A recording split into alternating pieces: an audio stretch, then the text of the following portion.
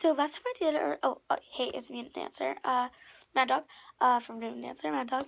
Um, so last time I did a FNAF review. It was the Springtrap, Spring Trap Office uh, Lego set. And so today, to go with that, I'm gonna do the uh, Toy Chica little box. So I'm gonna get that on the box and put it together. I'll see you all in a second. Bye bye. Okay, guys. So here's the finished product. It's very tiny, as you see. The only complaint I have is with the wiring. There's nothing that keeps it up there except this. It just lays it like that. I wish they had something that could make it more stable because it keeps falling off. And then the only other thing was I would have added like something black down here so you could actually like play with it and shine the light. And, or like a box you could like put the character in that like went out here. To just make sure like, that would be cool. That would be a cool play feature.